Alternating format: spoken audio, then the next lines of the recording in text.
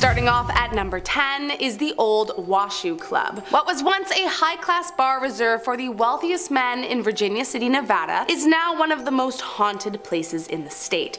You see, as the riches dwindled, so did the clientele that began to roam around, and soon enough, anyone with cash for a beer was welcome inside the saloon. And it didn't take long before the bar became a frequent hotspot visited by Johns looking for a cheap night of fun away from their wives.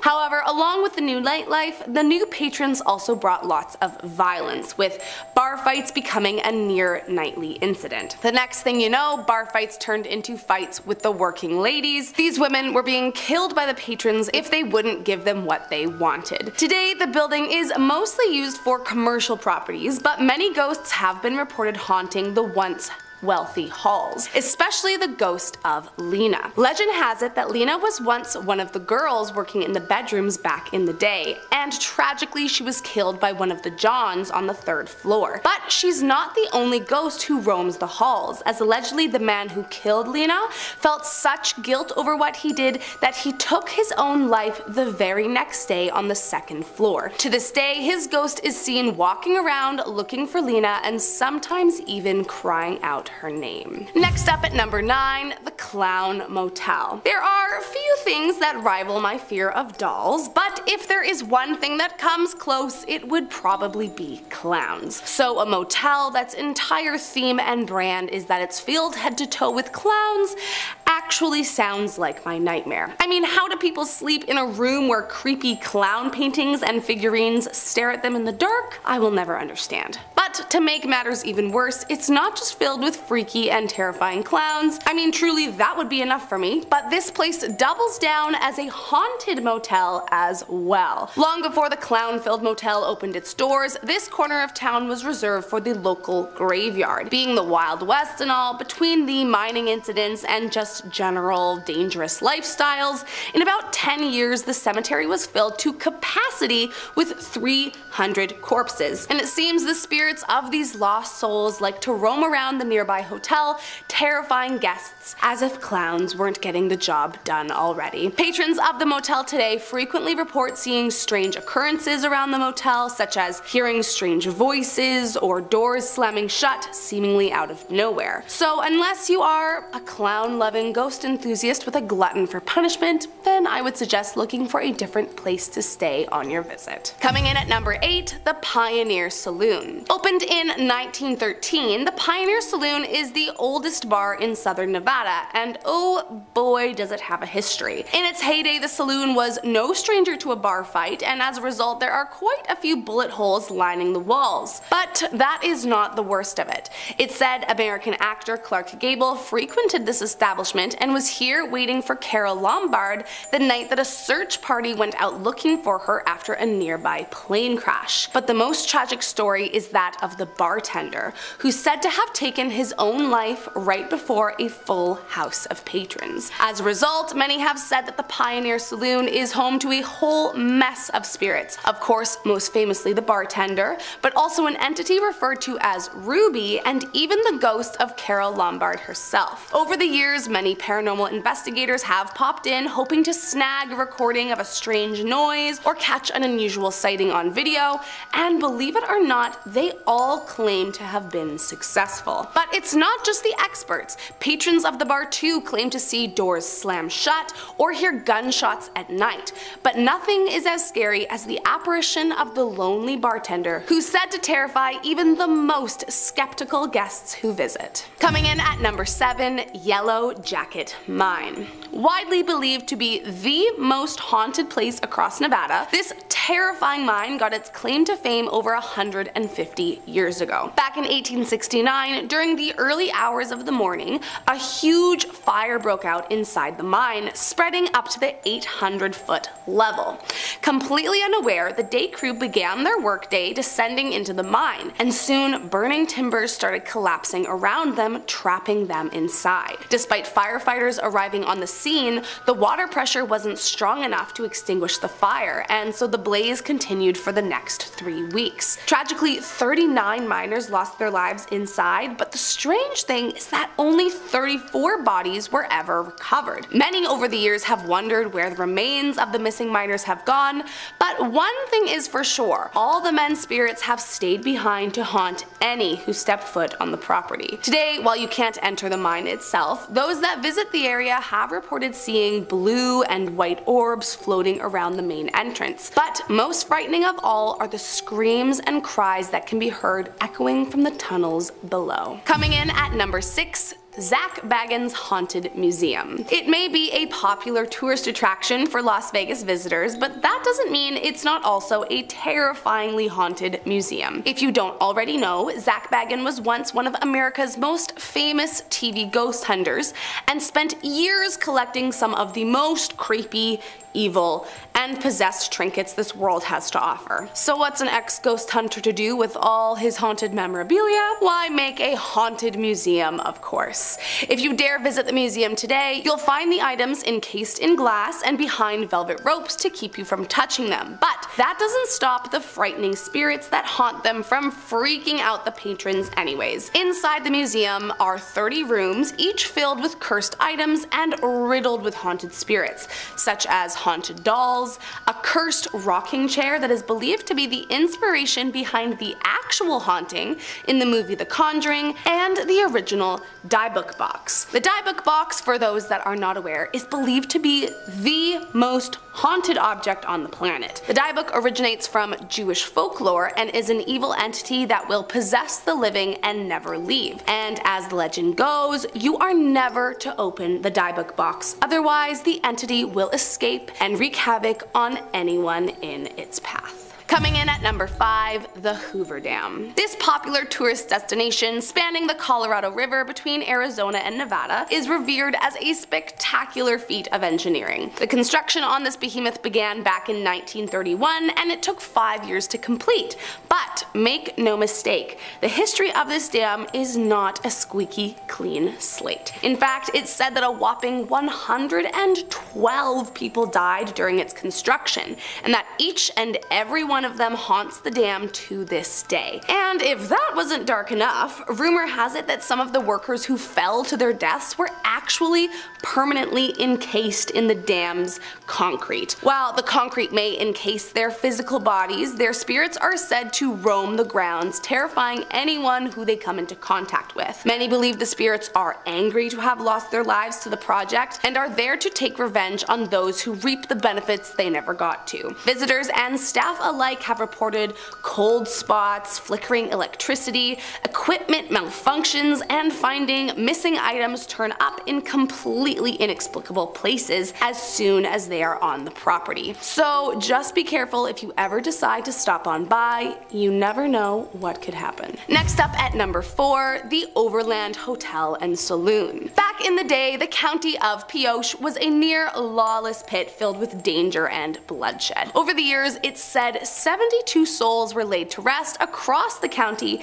and it's believed they all remain haunting the grounds to this day. Nicknamed Nevada's liveliest go town, Pioche might have a tamer facade during the day, but at night it's just as wild as it was back in the day. But the most terrifying spot of them all is said to be the Overland Hotel and Saloon. Although the Overland that stands today was rebuilt after a tragic fire in 1948, the spirits that haunt the grounds were not not deterred. In fact, some say they even came back with a vengeance.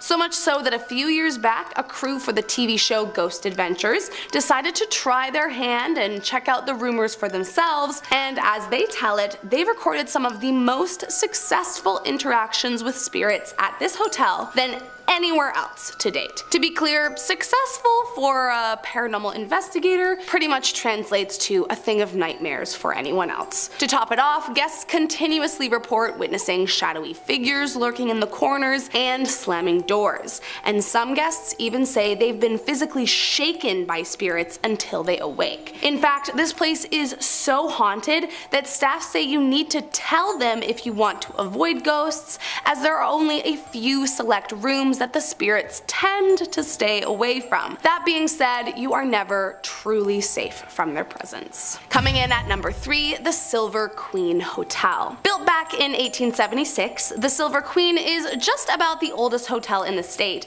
and not much has changed since the days it opened its doors. Beautifully restored to maintain its 19th century authenticity, it's not just the brass hardware that has stayed since the early days, but some of the patrons too. The most famous of which is the ghost of Rosie, believed to be the spirit of a woman of the night who was a frequent and favorite patron of the Silver Queen Hotel in its heyday, but who tragically took her own life in the very hotel she worked in. As the story goes, a few of her clients became violent towards her, and Rosie, depressed and seeing no way out of this life, decided to end it herself in her bathtub of room 11. To this day, it's said room 11 is haunted by her ghost, and those that have stayed there say they routinely hear rattling doorknobs, phantom footsteps, and disembodied voices echo throughout.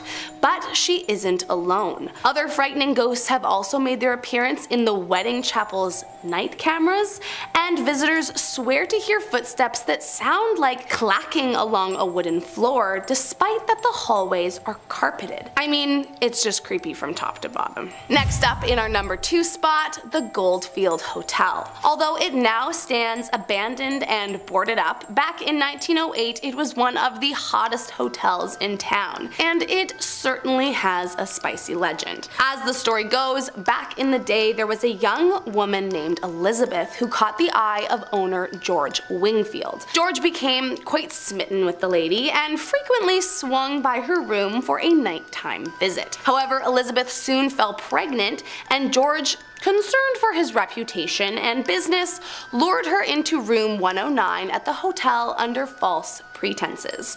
Once inside, he chained Elizabeth to the radiator and forced her to stay in the room alone until she gave birth. But tragically, Elizabeth died in the room, and so George took it upon himself to deal with her. And so George took it upon himself to deal with her situation, allegedly throwing it down a nearby mine shaft. Those who pass by the old hotel today say they can hear the sound of chains clanking against the radiator and that Elizabeth can be seen walking around room 109 wearing a long white dress and weeping. Some even say they've heard her cries echo in the streets. But it's not just the weeping Elizabeth that haunts these evil halls, but the spirit of a former employee who took their life as well as George himself. It's believed George remains there tormenting the poor Elizabeth even in her death, making this place place more and more evil as the hours go by. And last up in our number one spot is Circus Circus.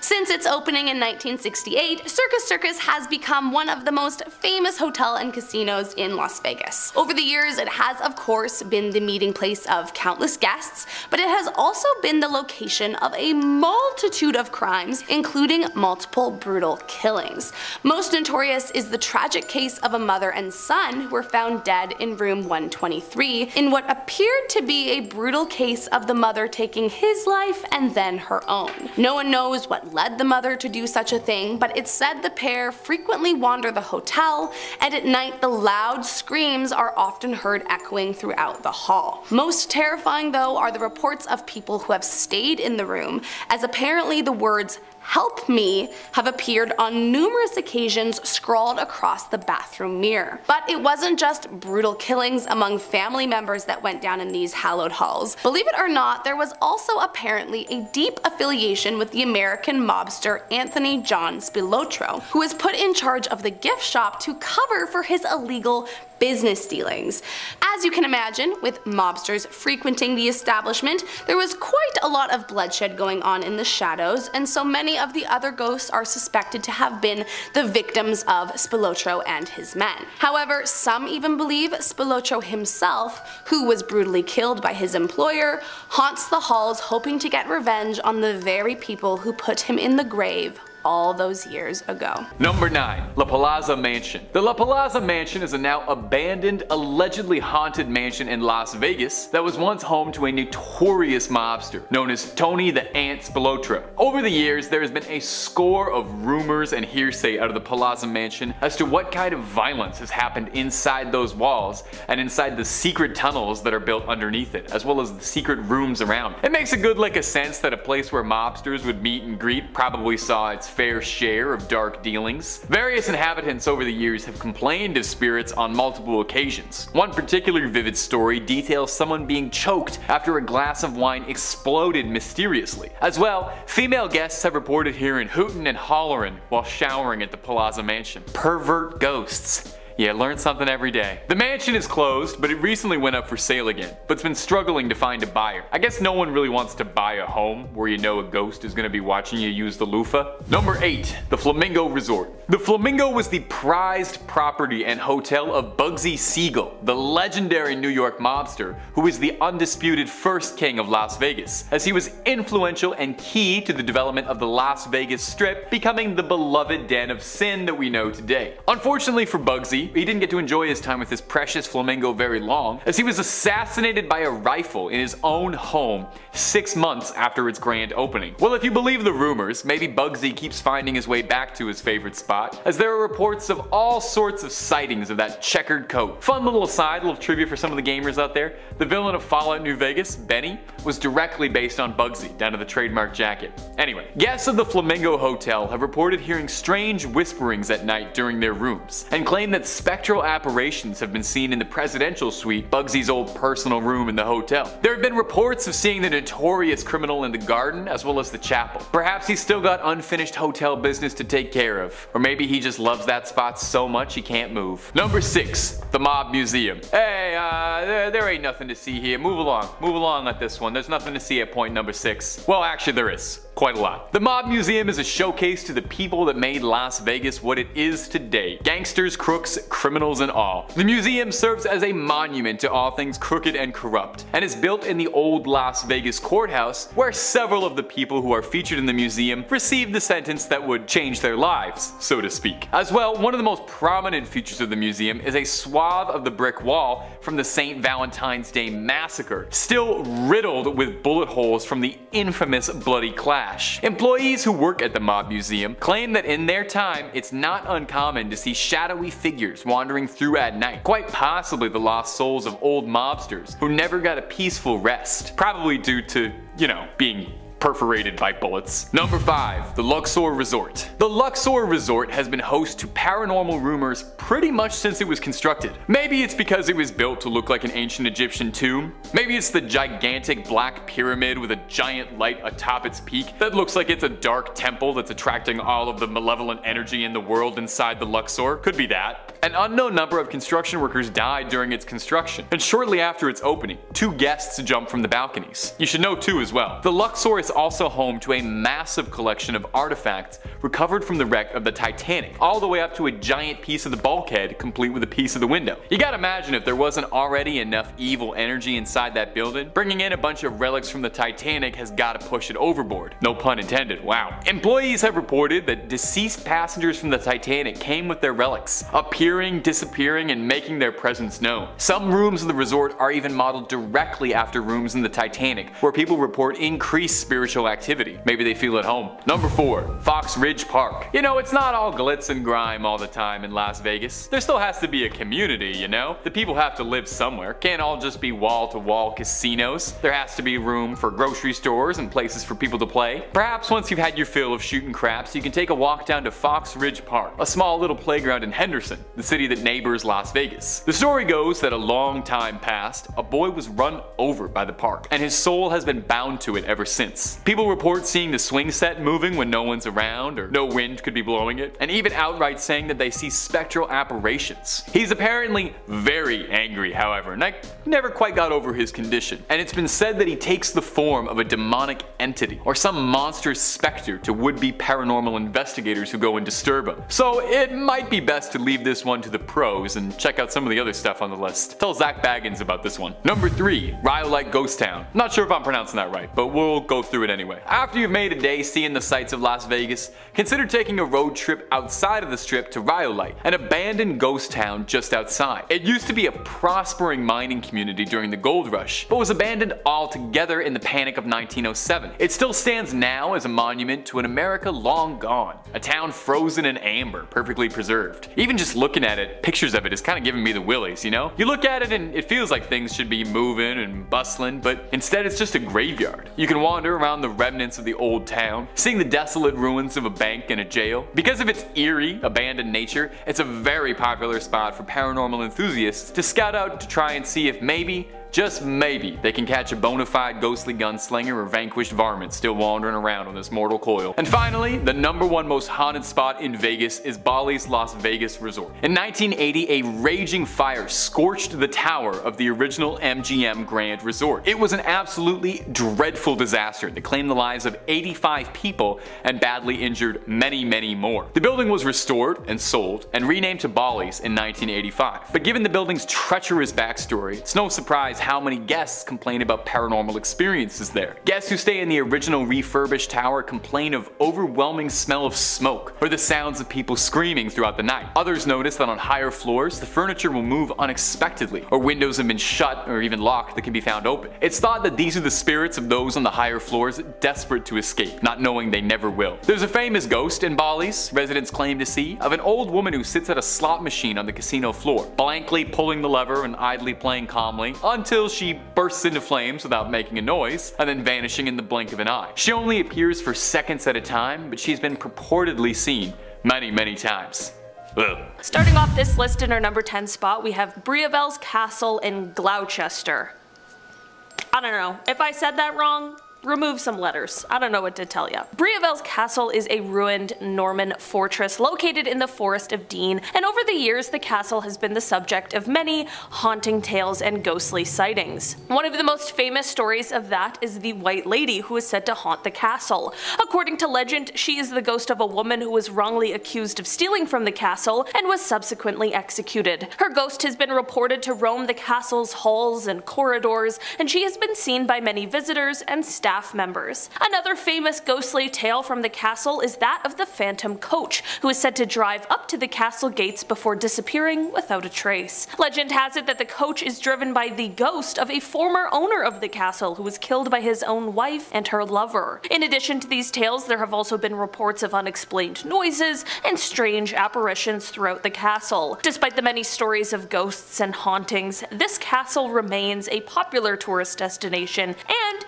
a fascinating piece of British history. Why not head over for a visit? I heard you can even stay in the oubliette. In our number 9 spot today we have the Glasgow Necropolis. This place is exactly what it sounds like. It is a necropolis and what place is more haunted than a necropolis? The Glasgow Necropolis is a Victorian cemetery located on a hill overlooking Glasgow, Scotland. Over the years it has become a popular spot for ghost hunters and paranormal enthusiasts due to the many haunting tales that surround the site. One of the most famous ghost stories associated with the necropolis is that that of a female ghost. According to legend, she is the ghost of a wealthy woman who was buried in a white dress and veil. Her ghost has been seen by many visitors floating among the tombstones and crypts. Another tale involves the ghost of a man who was buried alive. Legend has it that he woke up in his coffin and tried to escape but died before he could make it out. Visitors have reported hearing knocking sounds coming from the ground and feeling cold spots near his grave. At the end of the day, while there are thousands of people buried here, only a small group have graves and even fewer have names. This only adds to the eerie nature of the cemetery. There are even rumors that a vampire just might be wandering the grounds looking for its next prey. All in all, this place is full of haunting tales, urban legends, and a whole bunch of spook. In our number 8 spot today we have Pluckley in Kent. The village of Pluckley, located in the county of Kent, England, is known for being one of the most haunted villages in the entire country. There are numerous ghost stories associated with the village, many of which have been passed down through generations. One of the most famous tales is that of the Screaming Woods, a dense forest area on the outskirts of the village. According to legend, the woods are haunted by the ghost of a highwayman who was caught and killed by villagers and his screams can still be heard at night. Another famous ghost story involves the Watercress Woman, a ghostly figure who is said to appear near a stream in the village carrying a basket of watercress on her arm. It is believed that she drowned in the stream while picking watercress and her ghost has been seen by many villagers over the years. Other reported sightings include ghosts of a monk, a schoolmaster, and even a haunted pub. Despite the spooky tales, Pluckley remains a charming and picturesque village attracting visitors from around the world. Visit if you dare. In our number 7 spot today we have Chillingham Castle in Northumberland. Chillingham Castle, located in Northumberland, England, is considered to be one of the most haunted castles in the country. The castle has a dark and mysterious history and there have been numerous reports of paranormal activity over the years. One of the most famous ghosts associated with the castle is the Blue Boy. According to legend, the ghost is a spirit of a young man who was imprisoned in a room in the castle and left to die. His ghost has been seen by many visitors, appearing as a blue flash of light or as a boy dressed in blue clothing. Another famous tale is that of a specific room in the castle where prisoners were once harmed and then executed. Visitors have reported feeling cold spots, hearing unexplained noises, and even feeling the presence of the ghosts of the tormented prisoners. Other reported sightings include ghosts of a lady in white, a soldier, and even a ghostly cat. In our number 6 spot today we have Corfe Castle. Corfe Castle, located in Dorset, England, is a ruined fortress with a rich history and many ghostly tales. The castle was originally built in the 11th century and was destroyed during the English Civil War in the 17th century. One of the most famous ghosts associated with the castle is that of Lady Banks, the wife of the castle's owner during the Civil War. According to legend, she defended the castle against enemy soldiers and was killed during the siege. Her ghost has been seen wandering the castle ruins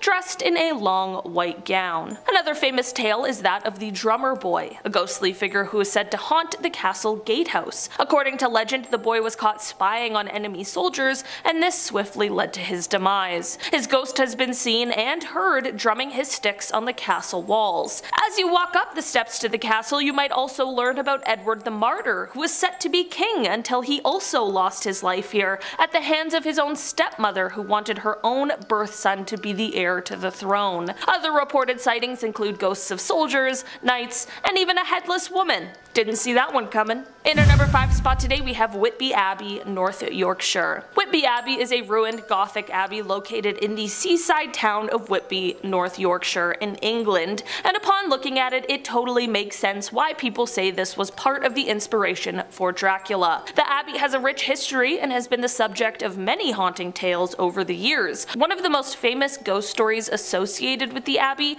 is that of the Whitby Abbey ghost of course. According to legend, the ghost is the spirit of a young woman who fell to her death from the abbey's high tower while trying to escape her angry husband. Her ghost has been seen wandering the abbey ruins dressed in a white dress. Ghosts really seem to vibe with white dresses for some reason. Another famous tale is that of the Black Abbot, a ghostly figure who is said to haunt the abbey's grounds. According to legend, the Black Abbot was a former abbot of the monastery who was executed for his crimes. His ghost has been seen wearing a black robe and carrying a book. Other reported sightings include ghosts of monks, nuns, and even a ghostly dog. Despite the many spooky tales, Whitby Abbey remains a popular tourist destination, offering visitors a glimpse into the fascinating fascinating history of the Abbey and the paranormal activity associated with it. In our number 4 spot today we have Glencoe Argyll. Glencoe is a beautiful and rugged valley located in the Argyll region of Scotland and is pretty famous for being one of the settings in the Bond film Skyfall, but it's also famous for its haunting tales. The area is steeped in history and it all starts back in 1692 with what is known as the Massacre of Glencoe. In that year, soldiers loyal to the English crown killed members of the MacDonald clan clan who had been hosting them as guests. It is said that the ghosts of the lost MacDonald's still haunt the valley, seeking revenge on their killers. Another famous tale is that of the Grey Man, According to legend, the Grey Man is a ghostly figure who is said to haunt the summits of the mountains in Glencoe. His ghostly presence has been reported by many climbers and hikers over the years. In our number 3 spot today we have Highgate Cemetery, London. This cemetery is located in London and for years it has been the central point of many a horrific tale. These stories include those of demons, ghosts, and all things paranormal, and even the famous Highgate vampire. Legend goes that the cemetery is home to this vampire as first reported by two girls walking through the area. They claimed to see the dead rise from their graves. Soon after this report came the discovery of animal carcasses, which is never a good sign, but to make matters worse, all of these ones had been drained of their blood. Stories of the vampire spread like wildfire and people were rightfully pretty creeped out. This all led to the vampire hunt that took place on Friday, April 13th, 1973. Friday the 13th. It's never good. During this hunt, residents of the town began exhuming bodies and then also beheading them okay? There are still many rumors and stories that swirl around the area, and I'm just gonna go ahead and say, if the gates to hell weren't located here before the beheadings, they definitely are now. In our number 2 spot today we have the Skirrid Inn in Wales. I love visiting a place that has lots of history. You know when you enter a building and can learn about its history and the people who used to walk in its halls? It's just so interesting and very cool, except for when you're sipping away on a cold tasty pint and find out that where you're sitting is a place that used to be used for public hangings yeah, things get a bit more grim when you bring that story up, alright? I don't know if I want what's on those taps. That is exactly the history behind the Skirrid Inn. The upper area of the pub was once used as a courthouse where people would stand trial. If the person on trial was convicted and sentenced to death, I guess this place was super convenient because they also wouldn't have to waste any time and could just carry out the sentence right then and there. A bit dark, I'd say. The bar decided it would keep the creepy little cell that was once used to hold the prisoners, which seems like an odd choice,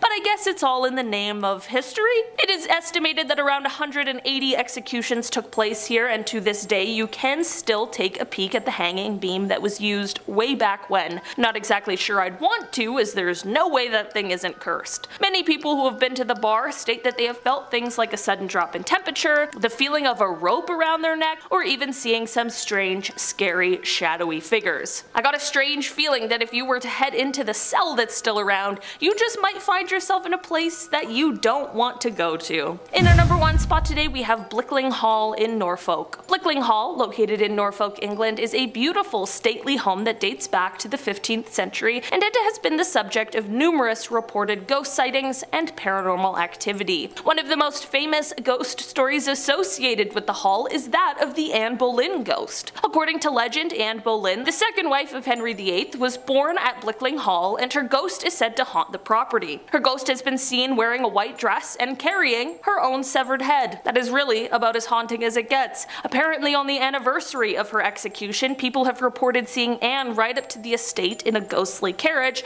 driven by a man who is also headless. Another famous tale is that of the Screaming Lady. It is said that a lady who was killed in the hall has been heard screaming in the corridors at night. The estate is now owned by the National Trust because no one else would want to buy that haunted of a house, and it remains a popular spot for those interested in history as well as the paranormal. Starting us off here at number 10 is Black Hag's Cell. Found in a secluded hollow in Limerick County, Ireland, lies a mess of crumbling crumbling ruins and the ghost of a satanic nun said to have been buried alive. And if that isn't just the perfect setup for a horror movie. As the legend goes, sometime during the 16th century, the demonic nun would sneak out of her monastery at night to the nearby abbey. It was here she performed her satanic rituals such as sacrificing animals or placing curses on the locals to please the devil. But one day during a battle between rival houses, the nun was wounded by an arrow and fell unconscious. Believing her to be dead, they buried the nun immediately, but soon farmers started hearing screams coming from her burial plot. At first they brushed it off as nothing, but as the screams continued day in and day out, they rushed to exhume the body, worried they buried her too soon. But they were too late. The nun had died and was left with bloody fingers from trying to scratch her way out. It's said at night her screams can still be heard echoing over the hills, and locals don't dare go near in fear that she will possess anyone who steps foot on the land. Coming in at number 9, Hoia Baciu Forest. Known as the Bermuda Triangle of Transylvania, this forest is the breeding ground of unexplained disappearances as well as countless paranormal phenomena. The forest in fact has so many terrifying tales surrounding it that many locals refuse to even enter it. But according to those brave enough to try, they were attacked by something indescribable, followed by hours of vomiting, nausea, migraines, and left covered in scratches, bruises, and even burns. Its most haunting legend is that of the forest girl, who allegedly entered at just 5 years old and disappeared. Five years later, she emerged from the woods wearing the same dress as the day she went missing, and she had no memories or recollection of going missing or what had happened to her in the last five years. Some believe that the forest is possessed by a satanic cult. A tour guide once said to have found a group of 60 people gathered in a clearing looking as if they were trying to open a gateway to another dimension, while others think it could be aliens. In 1968, a military technician released a photo he claimed to be a UFO, which was promptly hidden from the public before he was fired. And I mean, it's not every day someone from the military is confirming a UFO sighting. Well, whether it's haunted by a demon or a spot frequented by aliens, either way, I have no interest in checking it out for myself. Next up at number 8 here is the Snedeker House. Once home to the Snedeker family in the 1980s, they thought they'd found the perfect spot as it was fairly affordable house and close to the hospital where their son was being treated. But it wasn't until after they were all settled that they learned the house had operated as a mortuary for several decades since the 1920s. At first, everything seemed alright, but soon they discovered old equipment from the funeral home in their basement. Now this raised an eyebrow, but they brushed it off and didn't think much of it. That was until they uncovered that their backyard still contained many of the buried corpses, along with eerie photographs of the corpses hidden away in nooks and crannies. Soon they were being haunted by evil spirits, routinely hearing haunting noises and even seeing full-bodied apparitions. The mother claims that when she was mopping the basement, the water would turn red as if it were blood, or that she would catch objects flying around the room while lights would aggressively flicker. At the time, there were rumors circulating that the formal funeral directors were guilty of necrophilia, which led to the house becoming haunted by an evil presence, seeking revenge on all that lived in the house for eternity. Coming in at number 7 is the ancient Ram Inn. Rumored to be the most haunted building in England, there are no shortage of terrifying entities that haunt these grounds. Supposedly, the inn lies atop two ley lines, one of which directly intersects with Stonehenge. And if that wasn't enough cause for concern, it was also built over a 5,000 year old pagan burial ground. According to witnesses, a witch, a poltergeist, a succubus, and an incubus haunt the property, but many think it is much, much more. Legend has it that there are so many demons haunting the grounds that visitors routinely had to get exorcisms after their visit to the inn. Then, in the 1960s, a man named John Humphreys bought the house and decided to make it his own. He had heard the rumors, but believed they were just that, rumors. But on his first night, he felt something strange. There was something watching him, something very, very evil. Despite his inclination that a dark entity possessed his house, he continued to live there, often recounting paranormal sightings like strange voices, orbs of light appearing out of thin air, and said that once a force even grabbed him by the arm and dragged him around the living room. Even so, John remained until his dying days. And I mean, you do you, but if it were me, I would have been gone after the first night. Coming in at number 6 is Castle Houska. Located in North Prague, this castle was built back in the 13th century. Now there are a few things that are strange about this castle. Firstly, many of its windows are fake. They are simply glass panes in front of complete walls. Secondly, it lacks common things. There's no water source, no kitchen, and for years after its initial construction, there were no occupants. Lastly, the castle was built in a remote area. It was not near any trading routes, nor did it possess any kind of strategic value. That is because it was built for one reason and one reason only, to cover a large hole in the ground. Now, you might be asking yourself, what's so bad about that? Well, according to legend, the hole was actually a gateway to hell, and Satan himself was said to appear at this very spot. In an attempt to close off the gateway, the castle was constructed atop the hole, hoping to seal it for eternity. But during World War II, German soldiers settled in and used the castle to conduct experiments of the occult variety, and it's believed that these rituals brought out the evil spirits back into our realm. Today both Satan and some of the evil soldiers haunt the hallowed halls, and some say if you listen closely, you might just be able to hear the scratching of demons trying to join them. Coming in at number 5, the Rose Hall Great House. According to legend, a woman named Annie Palmer moved to Jamaica in the early 1800s. Annie was young, but she was smart and had one big goal in mind, marry rich. While she may have looked sweet and innocent, Annie was actually a renowned voodoo practitioner and became known as the White Witch by the locals. Anyway, after a short while in Jamaica, she met Mr. John Palmer, the owner of the Rose Hall estate, and wasted no time locking him down. After the wedding, Annie moved into the estate with her husband, but not long after, he mysteriously died. As it turns out, it was not so mysterious after all, as Annie had poisoned her husband, and she continued to repeat this pattern twice more while ruling over the estate. And it wasn't just her husbands that Annie was cruel to, she was notoriously brutal to the slaves on the plantation, never hesitating to any one of them that stepped out of line or dared question her. Then there were her lovers. Annie was rumored to have copious amounts of lovers, many of which were enslaved to her, and incidentally, this would also be her downfall. After one of his family members, one of her enslaved lovers, Takoo, snuck into Annie's room and her in her sleep. Takoo was also a voodoo practitioner and fearing she would haunt him after death, placed a curse on her grave to keep her entrapped. But it said the ritual was never completed, so the ghost of Annie escapes each night, wreaking havoc on trespassers and terrifying all that see her. Next up at number 4 is the Ostrich Inn. During the 17th century, this inn was owned by a man named John Jarman and his wife. The two welcomed travelers from far and wide, but had a special appetite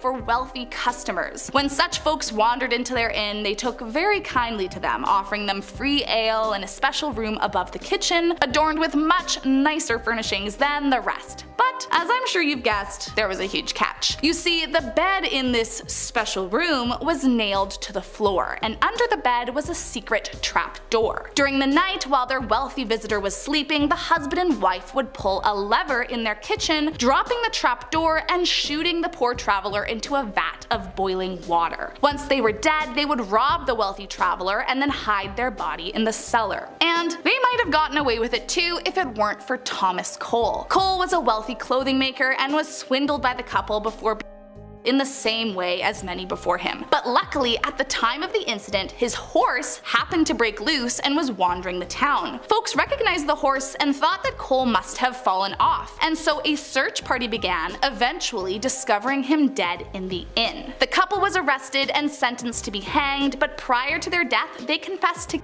60 people in their inn. To this day, many have witnessed their evil spirits haunting the halls as well as all the souls whose lives were lost. Coming in at number 3 is the Demon House. Once the home of Mr. Cranmer, he claims that he and his family lived in this house of horrors for 18 years before an exorcism in 2006 finally drove the demon away. Cranmer says that over the years he would watch helplessly as blood dripped from his walls and invisible hands assaulted him and his family, fearing each day that it might be his last. But where did this possession begin? Well, Cranmer believed it all started with Dr. James Mahon, a former tenant of the home. Dr. Mahon was an alcoholic who routinely performed illegal operations on women in his basement. But not because he was looking to help these women, no, it was because he had a deal with a demon. Cranmer says the demon who haunts the house is Moloch, a demon who feeds off of sacrifices, and that Moloch had possessed Dr. Mahon in order to feed off his basement operations. Once Dr. Mahon died, there was no one left to please this demon, and so he tortured all the families who moved in after, hoping to be able to scare them into giving him what he wanted. Luckily, Mr. Cranmer was able to rid the house of Moloch, and his family escaped the torture unpossessed. Coming in at number 2, The House of Death. Once the home of actress and poet Jan Bryant Bartell in the 1960s, the house holds a reputation for housing some of the most demonic entities in all of New York City. Within weeks of moving in, Jan knew something was deeply wrong with the house. She would often feel the touch of an icy hand across the back of her neck or hear footsteps follow her around the empty house. The house always reeked like something was rotting or dying, and her dogs were always barking into nothingness. Then one day, one of her dogs died, as if out of nowhere, so she decided to take matters into her own hands and called on a psychic medium. But this only angered the demons living inside. During the first session, the medium went into an unusual trance, speaking about the hundreds of bodies buried underneath the house. Jan knew it wasn't the medium speaking, and it was then that she learned how many people had been killed or taken their own lives while living here. Then, all of a sudden, the medium's eyes bulged out of her head and she started shouting that she would never leave in a deep demonic voice. The encounter was enough for Jan to leave and never return. A few years later, she published a book about her life in the haunted house, just weeks before she sadly took her own life. Still think it's just a coincidence? Years later, in 1987, a father brutally his own daughter in a drug-fueled rage, and many believe that he could have been possessed by the very same demon that Jan ran away from all those years before. And last up for you today in our number one spot, the Armstrong Street House. In 1970, a couple named Anne and Roger Brock moved their family into a beautiful four-bedroom house in Kokomo, Indiana. The family didn't have a ton of money, but they were able to score the house for just five grand, which in hindsight could have been a clue. Mere hours after the family moved in, they began to experience strange things. Lights were flickering and noises were appearing, but they brushed it off as nothing. Then one night, one of the daughters, Lana, was awoken by sudden shaking all around her bed. She thought it was an earthquake at first, but then she looked out her window to see a strange man, seemingly drenched, standing right beside her bedroom window, staring at her. Lana freaked out, but then as quickly as he appeared, he was gone. This became routine for poor Lana, and demons started haunting her every night. One night she heard a knock at her door door, and assuming it was her parents, she went to answer it, only to have her mouth covered by an invisible hand. She tried to scream, but the hand wouldn't let her. Suddenly her dog appeared and distracted the entity, allowing Lana to scream for help, but this only angered the spirit. To get back at her, it picked up the dog and threw it out the window, sending it plunging to its demise. Years later, they learned that someone was killed in the house, which could explain the tortures, but still, not a single member of the family has ever dared return. Number 10. The Bissman Building. The Bissman Building was built in 1886 and fun fact, the film Shawshank Redemption used this place as a filming location. If you have seen the film, the building is used as the entrance to the Brewer Hotel where Brooks and Red stayed after they were paroled from Shawshank. The real building though is haunted. While here many people experience a feeling of dread and sadness, particularly on the third floor. Many people also report an overwhelming sensation of darkness when on this floor, so if I were you, I would just stay away from the third floor in general. Disembodied footsteps, voices, being poked and pushed, black shadows, and dark figures caught in images seems to be something that happens a lot. Spirits of a young girl Ruthie, her aunt, and the spirit of a retired worker who died in an accident before leaving the building are three identified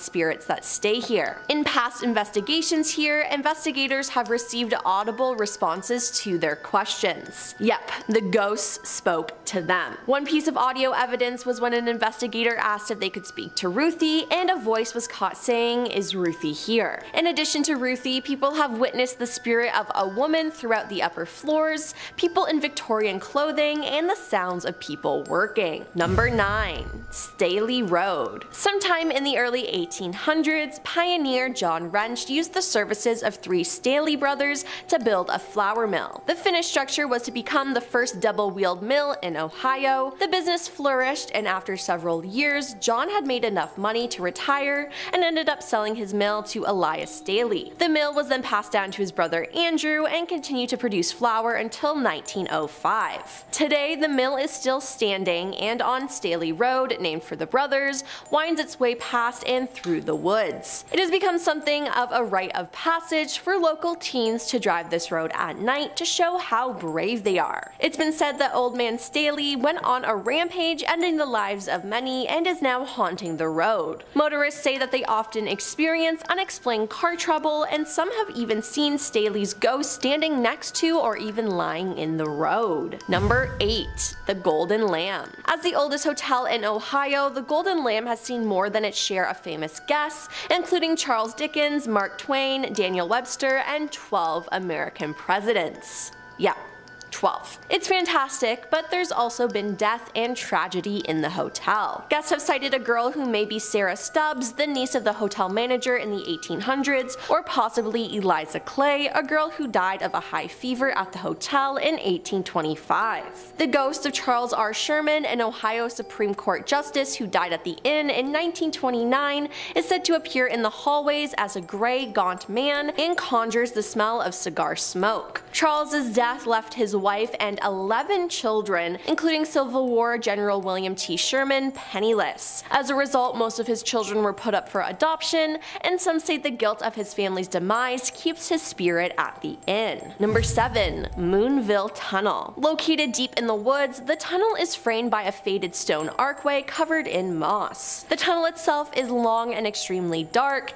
It's actually an out-of-work stretch of railroad track that leads to an old coal mining town. If you're brave enough to venture through it, you might see the ghost of Frank Lawhead, an unlucky train conductor who met his end in a head-on collision with another train. Visitors in the area have taken photos with cameras or phones, only to look back at them later and notice the pale figure of a man they didn't see before, or phantom train lights blazing at the end of the tunnel. It's also said if you listen carefully, inhale deeply, and blink intermittently, you may encounter spirits from another time. The piercing whistle of a train rounding a curve, the smell of lavender wafting from a woman in an old-fashioned dress, or even the glow of gaslit lantern illuminating the face of the weathered brakeman.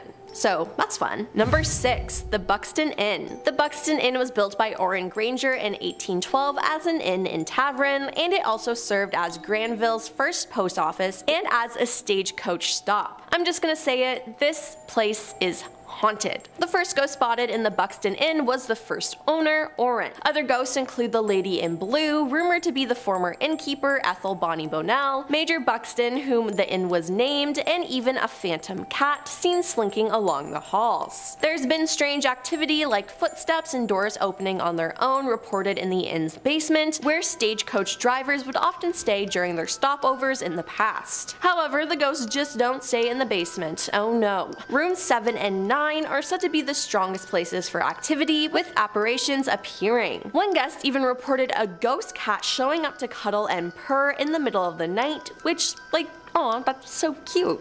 Guests have reported strange phenomenon throughout the hotel though, like their names being called out and invisible footsteps. I would not want to sleep there. Number 5. Woods surrounding London. Okay, again, not London, England, but London, Ohio. Deep inside these woods sits an old abandoned barn that is so rotted away it is practically melded back into the trees. It's rumored that ghosts like to spend some time here. If you ask anyone from the area, they'll tell you that these woods are haunted. According to legend, a family of five was traveling through the woods in the late 1890s when they were stopped and had their lives ended by a band of thieves. Those brave enough to wander through the woods of London at night have reported hearing gunshots and disembodied screaming. Others have felt a sudden drop in temperature before seeing a strange white mist hanging in the trees. Let me just say, it's no from me. Number 4. Ridges Asylum. Ridges Asylum originally opened in 1874 and was known as the Athens Asylum for the Insane. It had two wings, one for female patients and one for the male patients. The most violent patients were housed at the outermost tip of each wing. By the start of the 1900s, the asylum had become dangerously overcrowded, and rumors of inhumane treatment at the hands of the overworked staff were growing. Despite this, it was not officially closed until 1993. Some parts of the building are still in use, while other areas are completely abandoned. One of the scariest places in the building is the outline of a body where Margaret Schilling died in 1979. She apparently got lost in the disused part of the hospital in the winter of 1978-79 and was not found for more than a month. When the corpse was eventually removed, it left a stain that could never be washed away, which just makes me gag thinking about it, but imagine the smell, like Ew. Ugh. She is one of the many ghosts who is said to walk the asylum at night. Strange figures have been seen roaming around the old floors. Others have heard disembodied voices, footsteps, and screaming. Most appealing to imagination is the basement. Some claim severely disabled patients were kept on chains in dungeon-like places. Some say they've even heard the chains being pulled. Oh, and there's also a cemetery on the grounds which holds over 1,930 bodies. Of those, 700 women and 959 men lay under the headstones marked with only a number, which is sad. Number 3.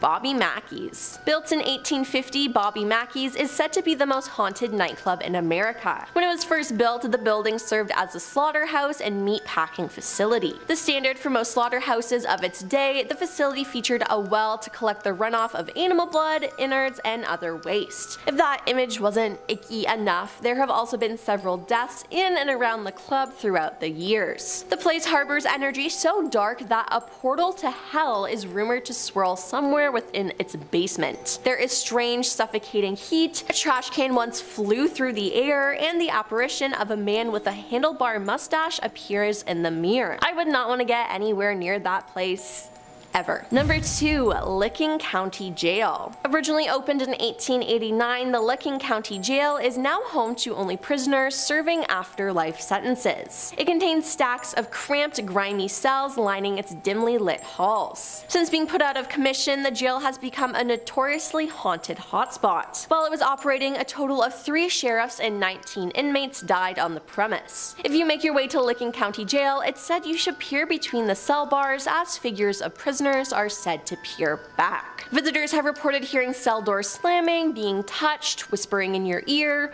whistles, the sound of footsteps, some of those being what seems residual, the jingling of keys, screams and moaning, as well as seeing strange light anomalies, full shadow figures, and photos with unexpected images in them. That sounds absolutely terrifying and I, I would not want to go there. And coming in at number one is Sedamsville Rectory. The Sedamsville Rectory is a historical building that once served as the home for priests of Our Lady of Perpetual Help Church. Priests of questionable moral character were rumored to live here, if you know what I mean, including a man who was moved around considerably before retiring from the priesthood, leaving some to believe the church was covering up his tendency of mistreating animals. His fellow priests later confessed to hearing strange sounds sounds coming from his bedroom and feeling uneasy in his presence. As the alleged site of the mistreatment, it's no shock that the place has some wicked demonic energy. Reports detail strange howling cries and deep scratches appearing in the flesh of workers. The current owner of the building, Terry Scott, even claimed that she was pushed by an invisible force. The presence was so evil that a priest was called in to perform an exorcism, but his efforts did little to keep the demonic energy at bay,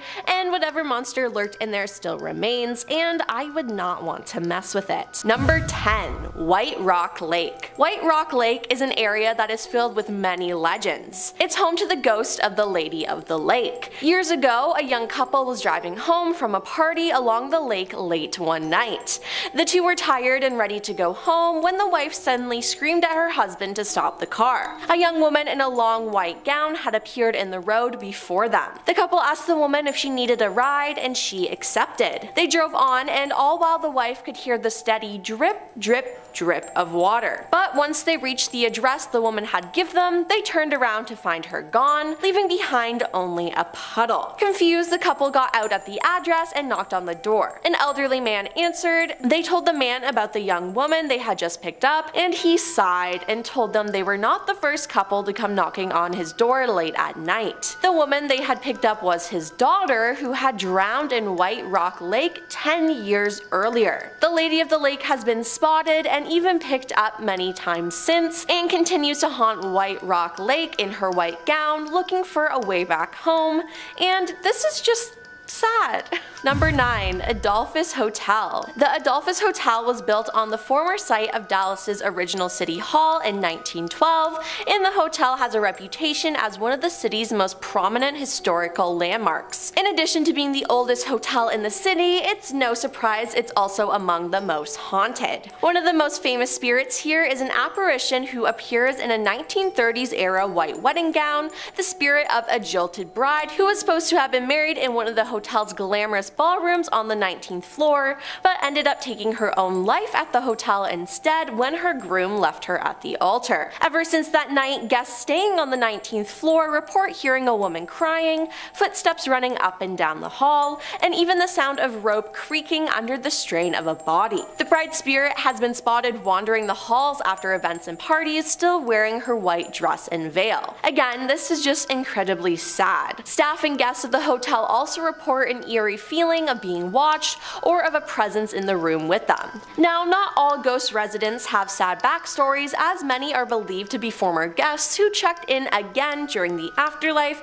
because they had such a good time in the hotel back in their days among the living. Guess it's a cool place to be in in life and death. Number 8. The Coombs Creek Trail. Located in Oak Cliff, this trail offers a serene, scenic path along Coombs Creek for nature lovers to enjoy, but everything is not as it seems, as this trail has an eerie history. Years ago, a young girl named Mary would ride her bike every day along the trail, but one day Mary never returned home. It's still unknown whether Mary drowned in the creek, was struck by a passing train, or was taken, but she seems to have disappeared without a trace. Hikers still report seeing the figure of a young girl riding her bike dangerously close to the edge of the water, but when they call out to warn her, she vanishes into thin air. Others have reported seeing a small ghostly face of a young girl peeking at them from behind a tree. When they try to move closer to investigate, the face disappears. Then the face reappears further along the trail, inviting the hiker to follow her deeper and deeper into the woods. And if a ghost child is trying to get me to go deeper in the woods, I'm just gonna turn around and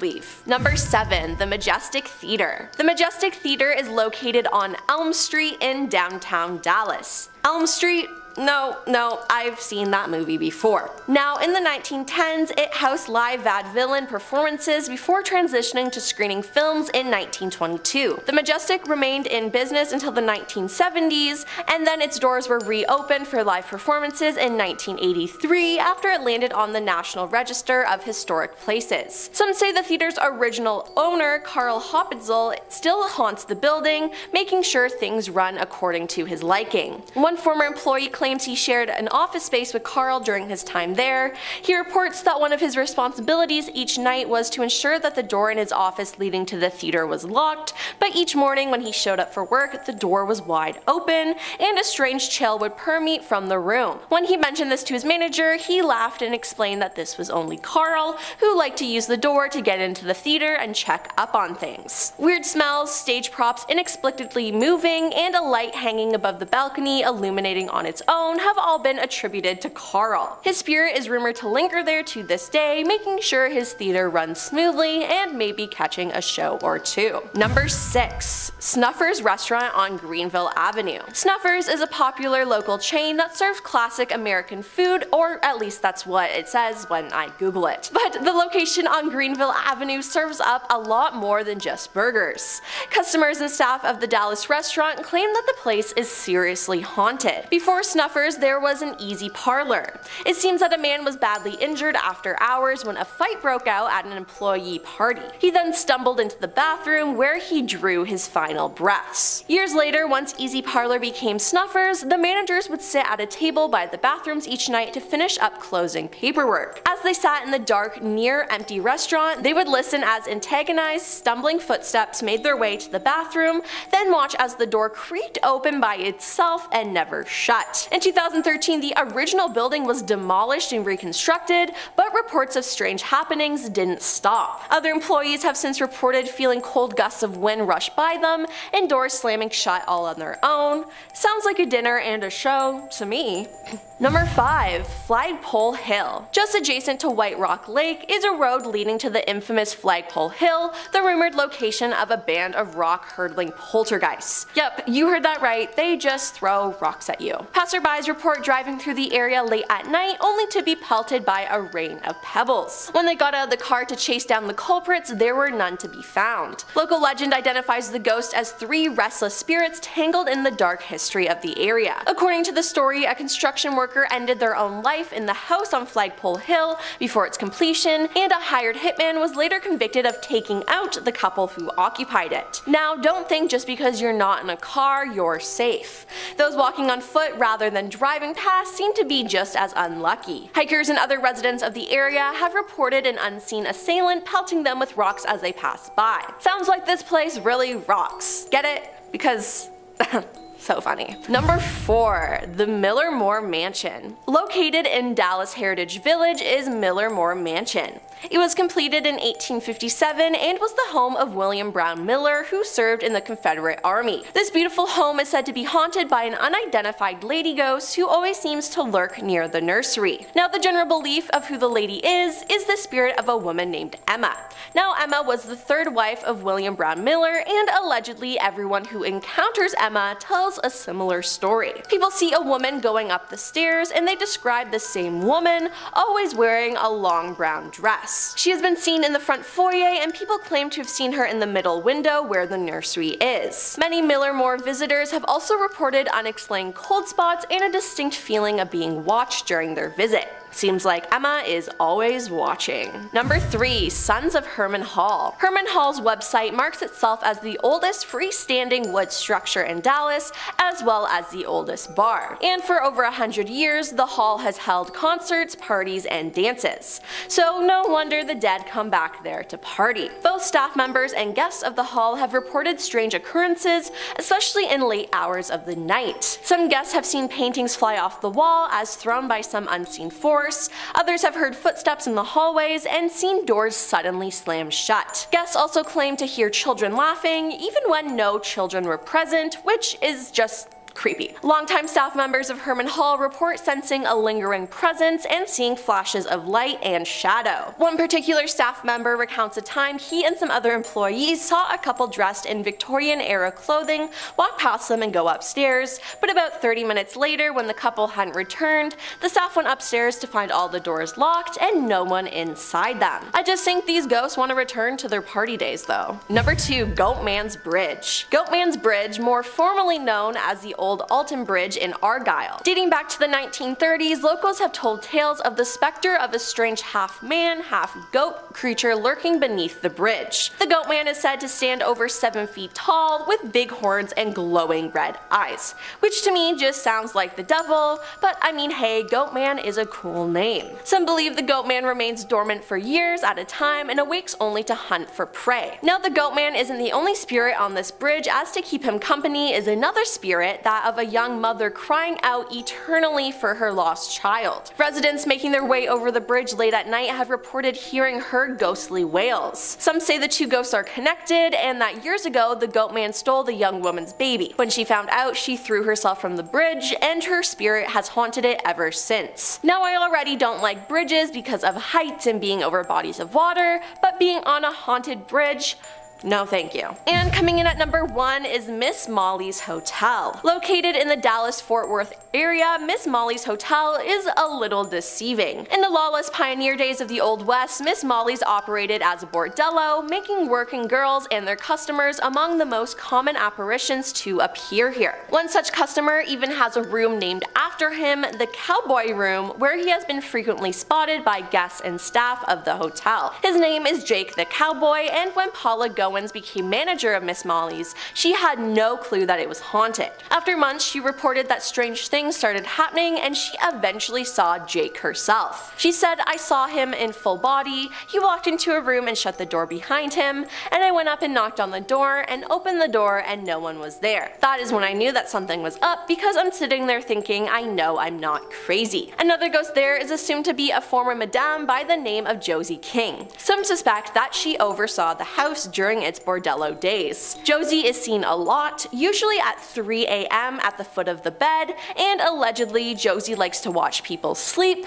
Um, no, no thanks. Guests can also look at the hotel's collection of creepy photographs or listen to eerie audio recordings captured through the years. And we're starting off this list with the Comedy Store in West Hollywood. The Comedy Store in West Hollywood had a reputation for being haunted for a long time due to a slew of reported supernatural experiences and encounters. Staff, comedians, and patrons have shared uh, stories of unexplained sounds, shadowy figures, and eerie sensations while in the building, especially in the basement. Footsteps have been heard echoing in empty halls, and snarling sounds have also been reported. Some attribute these occurrences to the building's past, as it was formerly a nightclub called Ciro, a very hip place in the 40s and 50s, but with ties to the mob. And the basement is where a lot of problem people were dealt with. Tragic events that have taken place there over the years may have left behind some lingering energy. Visitors have described sudden drops in temperature, objects moving on their own, and a general sense of someone or something watching them. The comedy store's paranormal stories have become so well known that there are even ghost tours of the club's uh, supposedly haunted basement nowadays. Number 9. The Warner Pacific Theater, now called the Hollywood Pacific Theater. This historic building is said to be haunted by Sam Warner, one of the Warner brothers, who put a ton of hard work and money into opening this theater, the first to be built